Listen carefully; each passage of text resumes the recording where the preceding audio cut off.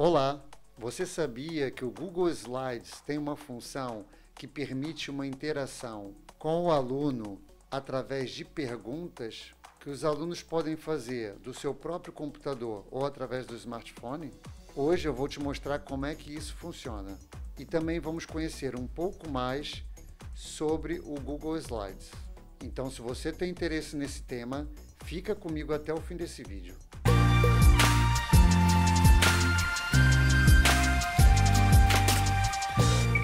Olá, sejam bem-vindos ao meu canal.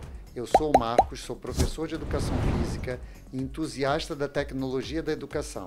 Vamos ver como é que o aluno pode interagir conosco durante uma apresentação aqui no Google Slides? Então vamos a isso. Vamos clicar aqui nos nove pontinhos e hoje vamos selecionar o nosso Google Slides. Eu vou selecionar um slide que já foi trabalhado nos tutoriais anteriores e aproveito a oportunidade para te convidar, se ainda não fez, a subscrever o meu canal aqui embaixo, clicar no sininho das notificações, deixar o seu like se você gostar desse vídeo, fazer o seu comentário e partilhar com outros colegas. Então temos aqui o nosso slide aberto e a função que nós vamos aprender hoje é a função de perguntas. Então nós vamos clicar não em apresentar, mas vamos clicar nessa setinha aqui do lado e vamos selecionar essa opção, vista do apresentador. Então, quando nós selecionamos essa opção, para além de abrir a janela onde será feita a apresentação da aula, irá abrir essa outra janela flutuante que os alunos não conseguem ver, quer quando a gente está projetando num projetor numa sala de aula ou através da videoconferência. Então, essa janela é só do professor e ela cumpre algumas funções, nomeadamente aqui vão aparecer as nossas notas pessoais, se nós tivermos feito essas notas durante a construção dos slides. Temos também a opção de controlar o tempo, com pausa, posso retomar e posso repor.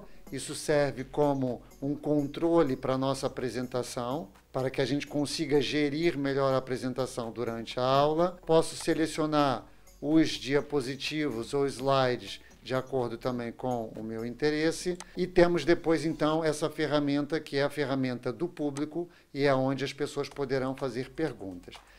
Para isso, eu devo, então, iniciar uma nova sessão e quando eu faço, vejam, eu vou arrastar a janela aqui para baixo, aparece, então, essa barra na parte superior do meu slide, com o endereço onde os alunos podem digitar nos seus smartphones e fazerem perguntas a partir do smartphone.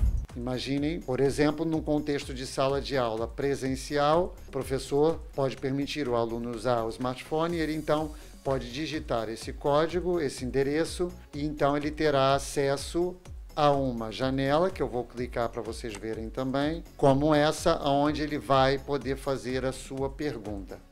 Então ele vai construir aqui a sua pergunta e vai aparecer então lá naquela janela flutuante do professor. Mas isso eu vou te mostrar já a seguir como isso funciona na prática durante uma aula síncrona por videoconferência no Google Meet. Mas antes disso, eu vou voltar aqui no meu slide, eu vou sair da apresentação e hoje eu quero te apresentar as funções do menu Editar. Então aqui nós temos funções como o anular, o refazer, o cortar, o copiar, o colar, o colar sem formatação, o eliminar, o duplicar, o selecionar tudo, o localizar e substituir. Então, são funções básicas, mas eu vou mostrar como elas funcionam. Então, vou para esse slide que tem texto e vou apagar, por exemplo, essa caixa de texto. Clico nela e clico em Delete ela apaga. Então, se eu vier no menu editar, eu posso clicar em anular ou simplesmente Ctrl Z, ou vocês também vão ter nessa barra de acesso rápido a função de anular. E aí então a caixa de texto volta a aparecer. Também tenho aqui o menu refazer, que também está aqui presente, e se eu clicar em refazer, ele vai sumir, porque foi o comando que eu dei anteriormente. Depois o que, que nós temos aqui? O cortar, então podemos cortar e colar em outro lugar. Então vou clicar em outro lugar aqui do slide e vou vir em colar.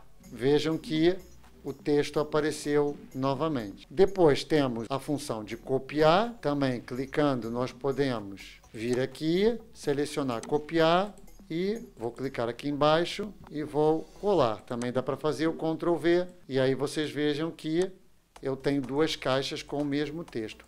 Isso é importante porque ajuda quando nós precisamos de replicar um título ou um subtítulo, por exemplo, uma imagem, acaba, acaba dando alguma agilidade ao nosso trabalho.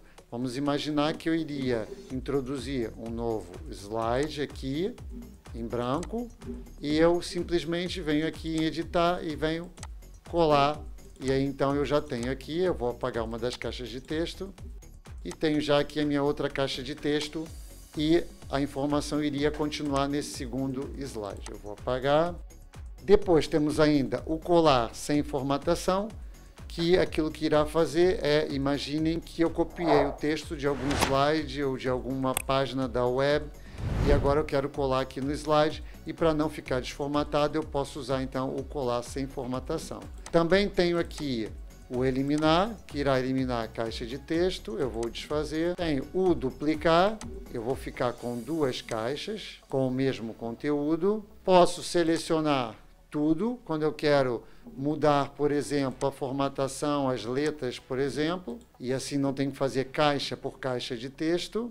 Por último, tem essa função que é muito importante e que me ajuda a localizar conteúdo nos slides. Imaginem que eu tenho 50 slides e tenho dificuldade em encontrar determinada informação que eu queria destacar. Posso simplesmente localizar, mas eu vou utilizar, por exemplo, o recurso para substituir a nomenclatura em português pela nomenclatura em inglês. Peço para substituir tudo e notem que no texto já houve aqui essa alteração. Então vamos agora ver como funciona o recurso perguntas durante uma apresentação. Então vamos ver como isso funciona aqui na prática. Nós temos desse lado esquerdo o ambiente de trabalho do professor e do lado direito o ambiente de trabalho do aluno, no qual ele está me vendo aqui a falar para ele. Então vamos transmitir o nosso slide já começou a transmissão, mas eu vou ativar o recurso de perguntas. Aqui está a janela, eu vou selecionar ferramentas do público e vou iniciar uma nova sessão. Eu vou copiar esse link, posso partilhar com os meus alunos através das aplicações de chat, por exemplo, ou no próprio chat do Google Meet, que é o que eu vou fazer agora. Então vejam que o meu aluno que está aqui do lado direito já está vendo a minha apresentação. Eu posso vir aqui no chat e colar então a informação para ele entrar no link, mas ele também podia digitar, porque fica disponível para ele visualizar. Ele poderia usar o smartphone e digitar esse código no seu próprio smartphone, mas eu vou fazer aqui no computador para ser mais fácil. Venho aqui no chat e vou colar numa nova janela. Entrei então no ambiente de perguntas. Então eu aqui posso escrever a minha pergunta. Então fiz a minha pergunta, tenho ainda a opção de perguntar anonimamente. Se tiver a trabalhar um tema mais sensível que os alunos não se sintam à vontade para se identificarem, eles podem clicar nessa opção e a pergunta é feita anonimamente. Eu vou deixar ativa, sem ser anônimo, e vou submeter. Notem que a pergunta foi submetida e ela aparece para todos os alunos que estiverem a utilizar o recurso. E os alunos podem interagir uns com os outros, dando um like ou um dislike, e consoante o volume de likes da pergunta, o professor poderá ter isso em atenção para responder essa pergunta, que foi aquela que teve maior destaque. Então, pergunta está feita, vamos voltar ao ambiente de apresentação. Então o aluno continua a ver aqui a minha apresentação, mas eu agora vou voltar aqui para o ambiente do professor e vou ver então a aba das perguntas. Então aqui está a pergunta do aluno com um like. Eu posso, por exemplo, deixar acumular essas perguntas ao longo da apresentação ou ativar esse recurso só em determinado momento da apresentação, por exemplo, no fim da aula. E então, no fim, eu posso clicar nesse botão e apresentar a pergunta que foi feita. E ela automaticamente aparecerá para os alunos verem qual é a pergunta e então o professor vai responder. Então, no vídeo de hoje, você aprendeu como utilizar o recurso de interação com os alunos através de perguntas e aprendeu também um pouco mais sobre os recursos do Google Slides. Eu espero que você tenha gostado desse vídeo. Obrigado e até uma próxima.